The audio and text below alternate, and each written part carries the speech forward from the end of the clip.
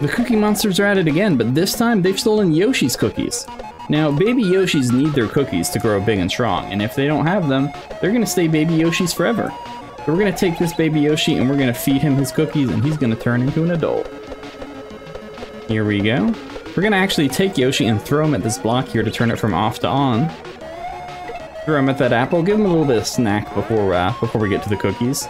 And here we go. Meet back up with the Cookie Monsters. And take our good friend Yoshi, open up the path forward, and see the Cookie Monsters. We got our cookies back, and Yoshi's gonna eat the cookies. And now that we've got an adult Yoshi, bye Yoshi!